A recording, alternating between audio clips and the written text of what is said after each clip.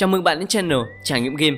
Solo đường mid đa số chúng ta dành cho tướng pháp sư, nhưng đôi lúc có thể là các xạ thủ như theonat và Joker. Vậy thì để làm chủ được đường mid tối ưu, ngoài việc chơi tốt các vị tướng nào đó, thì điểm lưu ý gì giúp bạn đi ganh và phụ giúp đồng đội hiệu quả, đồng thời trở thành một chủ lực quan trọng của đồng đội trong giao tranh? Cùng tìm hiểu top 5 mẹo giúp bạn trở thành đường giữa số 1 Liên Quân Mobile. Nào bắt đầu. Top 5 Bảng Ngọc Phép. Bảng Ngọc ít nhất trên 60 trừ khi kỹ năng của bạn thực sự cao hơn hẳn đối phương. Còn không, bạn khó để đường khi đối thủ có bảng ngọc 90. Khi quét lính chậm hơn, bạn bị hạn chế các bước di chuyển và bạn có thể bị đối phương chắn dắt lối chơi khi luôn là kẻ đi sau, luôn tham gia giao tranh chậm hơn bởi còn phải bỏ thời gian càn quét lính để trụ. Khi mà đối phương kịp thời đi ganh các đường khác, bảng ngọc tương đương một món trang bị cấp 3 với bảng ngọc 3, còn bảng ngọc 2 tương đương một trang bị cấp 2 đầu game. Vậy nên, nếu ai nói không cần ngọc thì hoàn toàn sai lầm Tướng có thể có ít, nhưng ngọc buộc phải có, dù ít hay nhiều. Top 4. Đi ganh Đi ganh cẩn thận, bản chất của các vị tướng pháp sư đều mong manh, máu giấy. Không chỉ vậy, một số tướng pháp sư còn rất thiếu cơ động. Để tránh bị ganh từ các bụi cỏ không có tầm nhìn, trừ khi kiện tướng kiểm soát được nhiều vị trí đang mất tích trên bản đồ. Còn không thì nên để cho người đi rừng cùng trợ thủ kiểm tra tầm nhìn trước. Di chuyển sai lầm chính là nguyên nhân gây ra nhiều pha lên bảng điểm số oan uổng khi mà không chú ý đến bản đồ hay là không tầm nhìn nhưng lại ngang nhiên tiến vào rừng đối thủ hay là chạy qua các bụi cỏ bờ sông trong sự tự nhiên thái quá. Đó là các lỗi thường trực rất hay xảy ra. Đặc biệt khi đối thủ mất tích khỏi bản đồ nhưng lại cố tình đi lẻ và đẩy cao thì nguy cơ lên bảng càng tăng mạnh.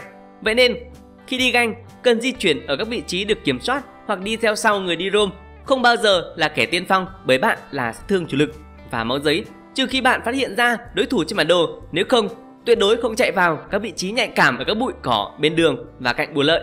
Đó là các điểm nóng có thể xuất hiện giao tranh bất kỳ khi nào. Top 3. Giữ vị trí giao tranh Luôn có vị trí tốt, không tham gia giao tranh nếu biết chắc chắn rằng vị trí đang đứng có thể bị sát thủ hoặc đấu sĩ tim địch tiếp cận. Bởi khi chết thì tim bạn mất đi ngay một nguồn sát thương chính, đưa tới thua thiệt trong giao tranh tổng bạn chơi pháp sư, tức là bạn chính là một nguồn sát thương chính trong đội. Vậy nên đừng bao giờ chơi mạo hiểm kiểu một đối một là lời. Ví dụ nếu bạn là một trợ thủ, bạn một đối một được với đối phương thì là lời. Nhưng nếu bạn là một chủ lực mà chỉ một đối một thì chắc chắn kẻ lời là đối thủ. Và khi đó, nếu đồng đội sát thương chủ lực thứ hai hay là các tướng late game chưa đủ trang bị thì đội bạn nắm chắc giao tranh thất bại và chẳng có lý do gì đối thủ không tiến lên và củ hành toàn bộ đội hình của bạn khi bạn thiếu sát thương. Đó là hậu quả của việc nếu bạn cho rằng một đối một là lời đối với một sát thương chủ lực. Top 2. Lỗi chơi Ra vào giao tranh hợp lý Nếu có lợi thế thì di chuyển cùng đội hình để giao tranh Nếu giao tranh thắng thì ép rừng, ép đường Còn khi thấy team bị vây bởi quân địch ở thế khó Thay vì cố gắng cứu giúp để rồi chết chung thì các kiện tướng nên bỏ của chạy lấy người vào rừng và các đường khác phàm tiếp tìm kiếm thêm trang bị để cuối game lật kèo đây là lưu ý quan trọng nhất bởi đôi khi chúng ta quá cố gắng mang tính cứu đồng đội nhưng thực ra cứu kiểu gì và còn lâu mới cứu được. Cố tình giao tranh tiếp, dù thiếu người và chênh lệch trang bị thì chỉ có một kết cục duy nhất mà thôi.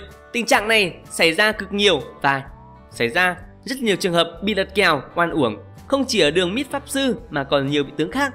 Giao tranh không ăn nổi nhưng cứ muốn ra đánh, thành ra tạo càng nhiều lợi thế cho đối thủ. Vậy nên cần đánh giá đúng xem có thể đánh hay phải rút lui và đi farm ngay tức khắc, không dậm chân một vị trí đợi chờ thời cơ.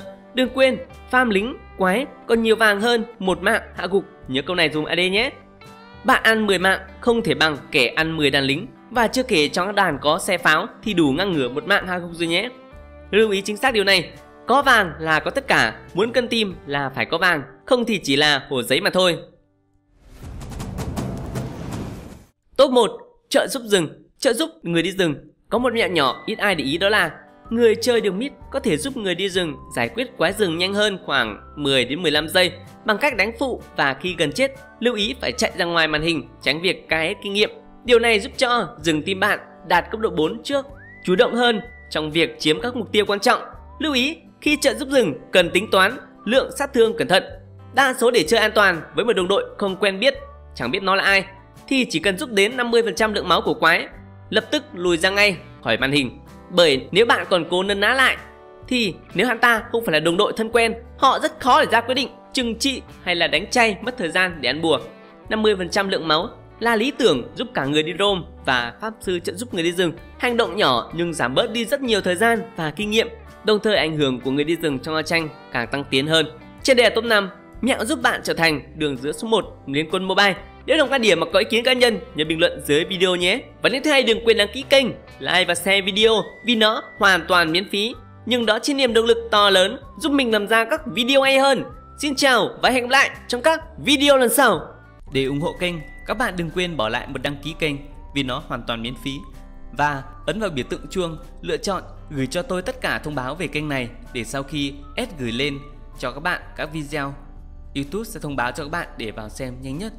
Và sau đó đừng quên bỏ lại một like và chia sẻ các video lên các mạng xã hội như Google, Facebook.